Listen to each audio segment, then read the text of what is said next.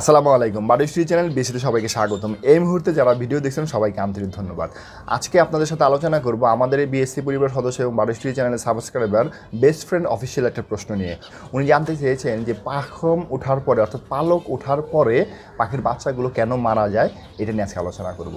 আলোচনা করার পূর্বে বরাবরের মতো অনুরোধ থাকবে এখনও চ্যানেলটি সাবস্ক্রাইব করে না থাকলে সাবস্ক্রাইব করে পাশে থাকার বেল বাটনটি বাজিয়ে দেবেন। এতে করে নতুন নতুন ভিডিও নোটিফিকেশন আপনাদের কাছে চলে যাবে।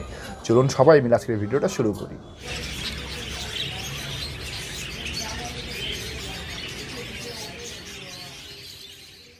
পাখির বাচ্চার পালক উঠার পরে বা ঝরে পড়ার পরে কেন মারা যায় সেটা জানার আগে আমরা একটু আলোচনা করব পাখির পালকগুলো কেন ঝরে যায়, অর্থাৎ পাখির বাচ্চার যে পালকগুলো আছে কেন ঝরে যায়। এটা বিভিন্ন কারণে ঝরে যেতে পারে। এর মধ্যে আছে যেরকম পাখি যখন মল্টিং শুরু করে এখন পাখির বাচ্চা যখন দুই, তিন মাস, চার মাস বা বিভিন্ন পাখির বিভিন্ন বয়স ভেদে যখন নাকি পাখি মল্টিং শুরু করে, তখন পাখির পালকগুলো ঝরে যায়। এছাড়া পাখির বাবা মা যদি পাখির ফেদার প্লাকিং করে, এই ফেদার প্লাকিং সংক্রান্ত সুস্পষ্ট ভিডিও চ্যানেলে আছে, আমি ডেসক্রিপশন এবং আই বেটনের লিঙ্ক দিয়ে দিচ্ছি, আপনারা দেখে নেবেন, সম্পূর্ণ ধারণা আপনাদের ক্লিয়ার হয়ে যাবে। তো যেটা বলতেছিলাম যে, পাখির বাবা মা যখন পাখির বাচ্চার ফেদার প্লাকিং করে, তখনই কিন্তু সমস্ত পালকগুলো উঠে যায় বা ঝরে যায়। এছাড়া পাখির শরীরে যদি কোনো রকম ভিটামিন ক্যালসিয়াম জিঙ্কের অভাব হয়ে যায়, তখনও কিন্তু পাখির শরীর থেকে পালকগুলো ঝরে যায়। এছাড়া দেখবেন যে ফ্রেঞ্চ মন্ট নামে একটা রোগ আছে, যে রোগ হলেও পাখির শরীরে কোনো পালক থাকে না, পালক সম্পূর্ণ ঝরে যায় এবং পাখি যেমনটা তেমনই থেকে যায়। এতে গেলো সামগ্রিকভাবে কেন পাখির পালকগুলো ঝরে যায়? এখন দেখাবো আমরা যে পাখির, এই পালক যদি ঝরে যায় বা এই পালকগুলি না থাকে, তখন পাখির বাচ্চাগুলো কেন মারা যায়? দেখেন, পাখির বাচ্চা খুবই ছোট থাকে এবং তার রোগ প্রতিরোধ ক্ষমতা স্বাভাবিকভাবে প্রচণ্ড কম থাকে।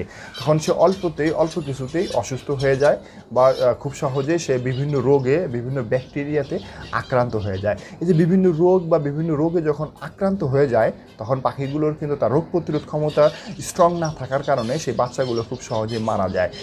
এই যে পাখিগুলো এই রোগ প্রতিরোধ ক্ষমতা বৃদ্ধি করার জন্য আমরা যদি পাখি ব্রিডিং করার আগে আমরা যদি আমাদের পাখিকে যদি সুষম খাবার দেই ভিটামিন, মাল্টিভিটামিন খাওয়াই, তাহলে কিন্তু দেখবেন যে পাখির বাচ্চাগুলো স্ট্রং হবে এবং রোগ প্রতিরোধ ক্ষমতা সম্পূর্ণ হয়েই ডিমের ভিতর থেকে বের হবে।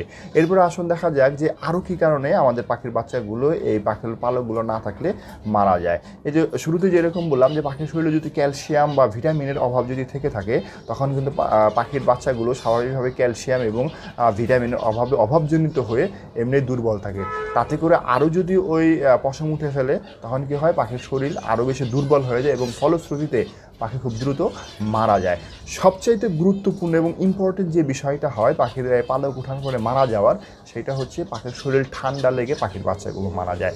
আপনারা লক্ষ্য করবেন পাখির বাচ্চা যখন ছোট থাকে তখন তার বাবা মা কিন্তু পাখির আহ, কে ওম দেয় অর্থাৎ একটা তাপমাত্রা মেনটেন করে রাখে এবং ধীরে ধীরে যখন নাকি পাখির এই বাচ্চাগুলোর পালক উঠতে থাকে তখন তার পাখির বাবা মা আস্তে আস্তে তার সেখান থেকে সরে আসে এবং পরবর্তীতে কিন্তু আর তারা তার বাচ্চাদেরকে নিয়ে ওম দেয় না বা পালকের নিচে বসে থাকে না। এর কারণ হচ্ছে পাখির যে ততদিনে পালক গজায় যায় এবং সে নিজে তাপমাত্রা কন্ট্রোল করতে পারে। কিন্তু পাখি যদি তার বাচ্চার পালকদেরকে উঠায় ফেলে, ফলশ্রুতিতে সম্পূর্ণ পালকহীন হয়ে যায় বাচ্চাটা।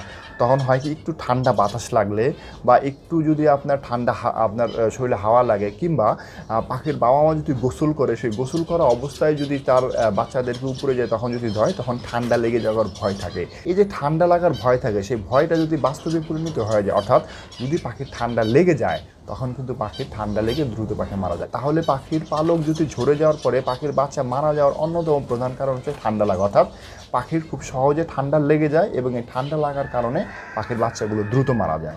এছাড়া তো অন্য অন্য কারণগুলো থেকেই যায়, যেরকম ভিটামিন, ক্যালসিয়ামের অভাবে পাখি দুর্বল থাকে এবং পালক ওঠানোর পরে বিভিন্ন রোগে দ্রুত আক্রমণ হয়ে দ্রুততার সাথে অসুস্থ হয়ে পাখি মারা যায়। তাহলে সামগ্রিকভাবে আমরা বুঝতে পারি যে আমাদের পাখির বাচ্চার পালক ওঠার পরে মূলত বিভিন্ন ধরনের ভিটামিন, মাল্টিভিটামিন, বিভিন্ন ধরনের মিনারেলসের অভাবে পাখি অসুস্থ হয়ে মারা যায়। এছাড়া পাখির যদি ঠান্ডা লেগে যায়, সেই ঠান্ডা লাগার ফলে পাখির বাচ্চা মারা যায়। এতক্ষণ ভিডিওটা দেখার জন্য আন্তরিক ধন্যবাদ। আজকের মধ্যে ভিডিওটা এই পর্যন্ত। আশা করি আপনাদের ভিডিওটা ভালো লাগছে। ভিডিওটা ভালো লাগলে লাইক করবেন, শেয়ার করবেন। চ্যানেলে নতুন হয়ে থাকলে সাবস্ক্রাইব করে পাশে থাকার বেল বাটনটি বাজিয়ে দেবেন। আর চ্যানেলের সোশ্যাল মিডিয়া যদি জয়েন না করে থাকেন ডিসক্রিপশনে লিঙ্ক দেওয়া আছে, এখনই জয়েন করে নিন। দেখা হচ্ছে নতুন আরেকটা ভিডিও নিয়ে। ততক্ষণ ভালো থাকবেন, ভালো রাখবেন আপনাদের পাখিকে। টাটা বাই বাই আসসালামু আলাইকুম।